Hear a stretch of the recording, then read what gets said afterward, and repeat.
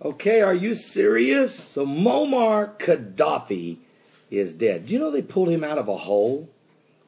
Was he somewhere deep, deep, deep hiding in his hometown of Sirte? That's exactly what he was doing. And apparently, some reports are they pulled him out of a hole. Other reports are that they shot his legs out from underneath him as he was trying to flee with a convoy that was being attacked by NATO.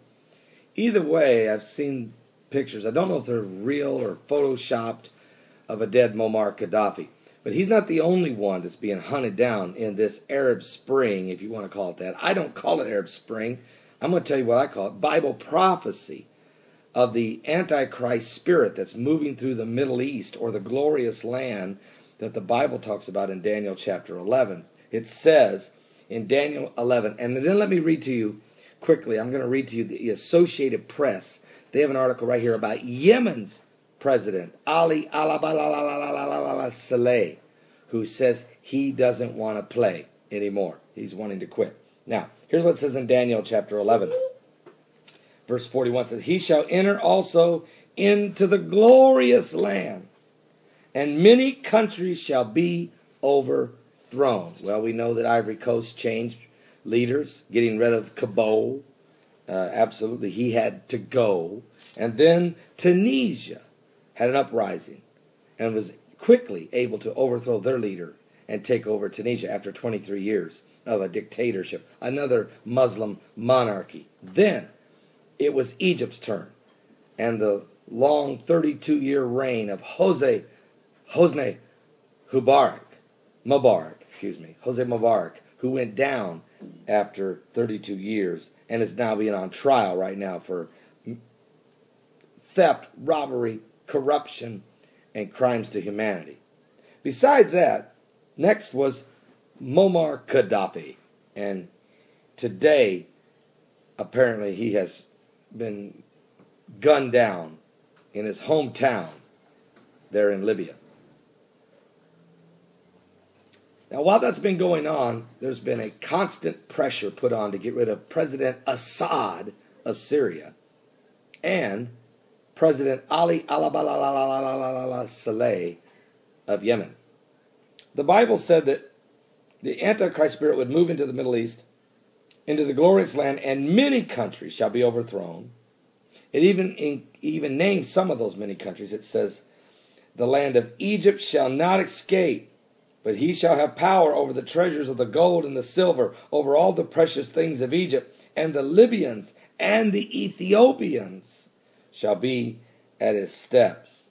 Okay, now here's what the Associated Press is reporting today from Yemen. Yemen's embattled president on Wednesday. Are you serious? Is is this happening this quickly? Because today is October 20th, 2011. But yesterday, Yemen's embattled president put forward yet another condition for leaving office. So he's trying to quit somehow without being put on trial like Mubarak or gunned down like Gaddafi.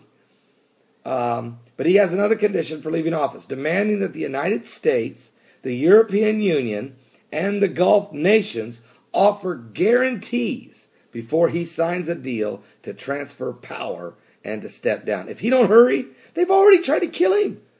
Folks, they did it. They tried an assassination attempt on him once. It killed seven people around him, and he's got burns on forty percent of his body. What's he talking about? He needs to understand he's not in a position of power. He's in a, he absolutely needs to bail out, surrender, and not have all these demands. He says though he has to have some guarantees before he signs a deal to transfer power and step down. Ali Saleh has managed to cling to power in the face of eight months of massive anti regime protest, the defection to the opposition of key tribal and military allies, and mounting international pressure on him to step down. He has so far balked at the U.S. backed plan proposed by Saudi Arabia and its five smaller allies in the Gulf Cooperation Council to hand over power to his deputy and step down in exchange for immunity from prosecution. But he still won't do it. This guy's going to mess around and wind up in a hole in the ground with Gaddafi and the rest of the clowns of radical Islamic militant Muslim monarchies who have murdered and massacred and brought mayhem to the entire Middle East. It's going to change. Because the scripture says it's going to change.